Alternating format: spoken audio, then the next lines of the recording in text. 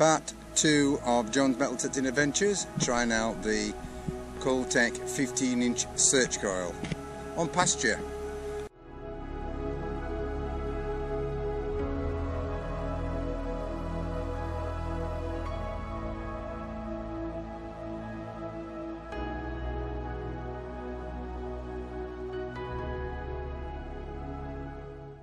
Start to patch.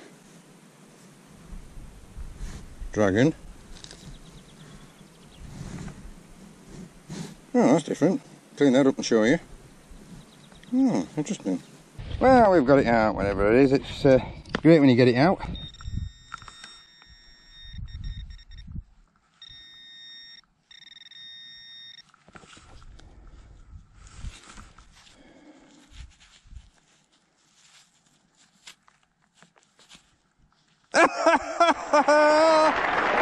gotta be kidding me, man.